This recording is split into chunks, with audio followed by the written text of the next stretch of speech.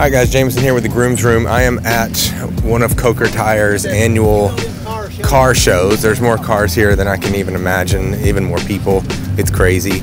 Uh, but I know that classic cars are a hot topic for you grooms as far as hiring one out for getaway car. So I'm here at this car show to ask owners of some of these classic cars all the questions that you need answers to. So come along with us.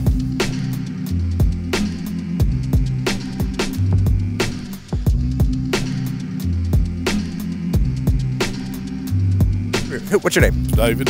Uh, David is the owner of this beautiful 1955 Chevy Bel Air. David, have you ever rented this out yet for weddings? Uh, we've got one scheduled for sometime in April. Have you and your wife ever made out in the back seat?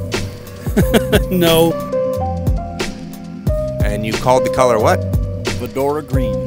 Vud, va or ma? Fedora. Uh, with a V. Okay. Uh, tell me a little bit about the car. Is it a hybrid? It is not a hybrid. If the price is right, would you let the groom drive the car? No, Is it a hybrid?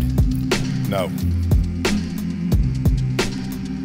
So, if you were to advise a woman who is having a hard time finding a man, would you advise her to buy a car like this? Always. Would this be what they call a chick magnet? Uh, I believe so. Have you and your wife made out in the back seat? No, we have not been in the back seat. We've made out in the front seat. Are you married, sir? Yes, I am. Over 51 years. And in those 51 years, have you and your wife ever made out in the back seat of your Firebird? Uh, no. All right. There you have it, folks.